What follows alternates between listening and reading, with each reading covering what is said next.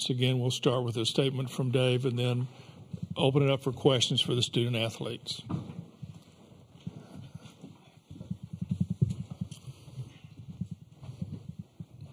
Well, kind of in line with the rest of the first two ball games, it was uh, a good ball game with a with a thrilling finish. Um, didn't go our way this time, and but I thought we I thought it was a, a, great ball game against two two really good clubs, and the level of game was was really high. And uh, um, you know what? I, I told our team at the end. I mean, it's if we if we break it down to the smallest level, they got two guys on. They got a bunt down and a base hit, right? So they executed uh, in order to win that ball game and so you gotta you gotta give them credit for doing that. We had plenty of opportunities throughout the day with runners in scoring position.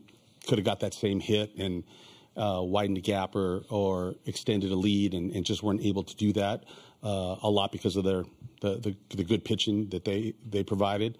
Uh, Joey did an outstanding job getting us started. You know, got us started for the first four, handed off to Drew Dowd, and you know, I guess they, they played a they played a way better two and two or two and one thirds innings than than we did there at the end after after the break. And um, so my hats off to Wake Forest. You know, to beat the number one team in the country, you're going to have to play a, a, a pretty flawless game. And we we uh, we kicked a couple opportunities early in the game, but we'll come back. We'll learn from that and and be ready to go uh, next game.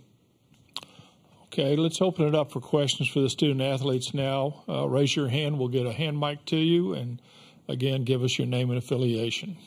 First questions for the student athletes, please. Okay, right here in the back, Tina. Mike Farron from SiriusXM. Joey, it's one of the top offenses in the country. How were you able to keep them off balance? I think it was just mixing early. You know, I think they were looking fastball early, throwing a lot of changeups, a lot of curveballs, and just keeping them off balance. Throwing anything in any count really helped. Okay, up here. Hi, Ron Kroichick from the San Francisco Chronicle. Um, Carter, what what was that break like? Did it did it sort of I don't say momentum, but how, how much did that disrupt the rhythm of the game, and how hard was it to get going again afterward? Yeah, I mean, obviously we don't want to like point the finger at any delay or any single play. We tried to keep our momentum and keep our rhythm, stayed loose. We were playing hacky sack in the locker room, just trying to stay together and have a good time because that's what we're here to do. Okay, next question. Here, Evan. Evan Bland, Omaha World Herald. Uh, for either one of you guys, I mean, you guys have fought back from elimination games in, in both the rounds to get to this point. What is it about this team that seems like you guys rise up when your backs are against the wall? Joey, you start. Um, you know, I think it's just us playing together collectively, knowing we have guys to do it. It's the same game, whether it's an elimination game or not. You should still try to have as much fun. And we got a guy, Quinn Mathews, coming tomorrow, so I like our chances. Yeah, I mean, just like Joey said, I mean, we've we have a really balanced team. We really believe in each other, and like Eski said, they got the big hit tonight. But we have guys all up and down our lineup who have been getting that hit all year, so we believe in it. Okay, in the back here, Brennan. Brendan Prizeman. Brendan Prizeman, Omaha World Herald. Uh, Joey, this is for you. You mentioned Quinn coming tomorrow, obviously, but what does it mean to you that you you were trusted with the start today, and not only that, but you were able to go out there and hold one of the better offenses in the country to such a low output. Yeah, I think there was plenty of guys on our roster that were able to do that. If you'd have given Drew Drew Dowd the ball, uh, inning one, I think he could have given you just as many innings or outs that we had today, and I think we have a lot of guys that can do that for sure. Okay, Jake, up here. Jake McKeever, College Baseball Central. This question's for Carter threw a ton of pitches in that first inning, fouled a ton off. What was kind of y'all's approach there from the start? Yeah, I mean, obviously we went into this game knowing we're facing a dude. I mean, Lowder's a great pitcher and had a great year, so our goal was kind of just nameless and faceless. We're going to get in there and we're going to get our best swing off on a pitch that's over the plate, and it doesn't matter who they throw or what they can do, and that's what we did. Okay, once again, Ray, Ron. Carter, kind of expanding on the earlier question about elimination games. You guys won five, five and zero oh this year. I think you won five last year. Yeah. Does it feel when you're in an elimination game? What what's the vibe? Does it feel more urgent, or why do you think in those situations you guys uh, produce so well? Yeah, I think I think we do a really good job with our backs against the wall of just not forgetting that it's the same game we've been playing all year. I mean, I think a mistake in those games is to think you have to do more or to try harder and worry about failure. I think that we trust our guys up and down the lineup, the Alberto Rioses and, and those people who have been getting the big hit all year. They, they just come together and do it. Okay, any more questions for the student athletes? Okay, Brendan, this will be our last one for the guys. Uh, this is for both of you guys. Both of you guys have been on the rosters for now three consecutive World Series, College World Series. Carter, I know you just mentioned not trying to do anything special with this, but is there anything in particular that you guys have learned now that this is your third time in Omaha that you bring, try and bring a little extra to the ballpark? Carter. Yeah, I think that, um, I mean, Esky says it best. I think that we just try and stay as long as we can. Um, I think that if we can fight together and, and scratch a couple elimination wins – and hang here long enough, I think we can get our rhythm and get hot and, and really surprise a lot of people. Joey? I think you said it best. Kind of just sticking the course, just playing the same game. Okay, guys, thank you. We'll excuse you too, and we'll open it up for questions for Dave.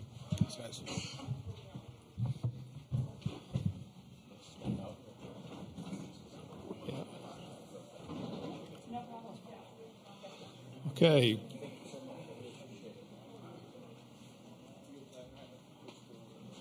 Okay, first question for for Dave. Eric. Eric Sorensen, D1 Baseball. Dave, just uh, going into this game, knowing you're going against a pitcher like that, and it seemed like early on you guys were taking some early swings. Was that kind of the the, the uh, game plan? uh, as far as like kind of attacking before he got uh, deep into counts? Yeah, we wanted to be we wanted to be aggressive for sure, you know, and and kind of use the middle of the diamond, just you know, kind of hold that line to the middle because he's got such good off speed stuff as well. So it keeps us would keep us on that if we were out front.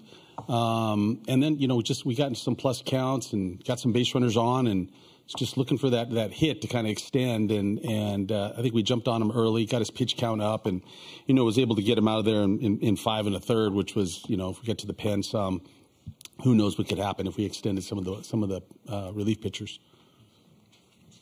Okay, next question. Okay.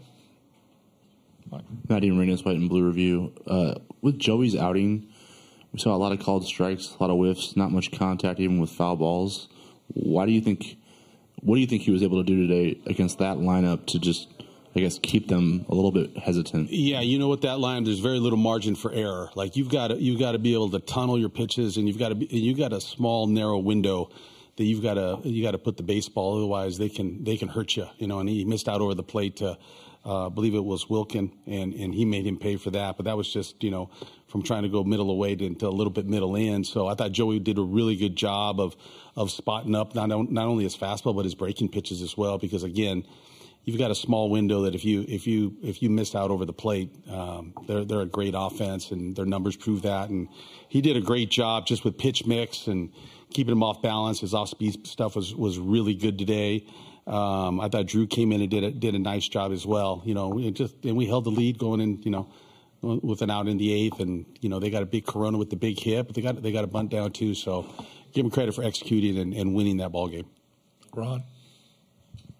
Dave, what, what's sort of the emotional impact of, of losing that way? To be up most of the game and then up through an hour and a half rain delay. I mean, in real time, you guys were ahead for three hours, and then to lose sort of suddenly is that is there any impact of that? Is it sort of jarring at all for your players? That's a good way to think about it. We're, right, we're only behind for about three or four minutes. Yeah.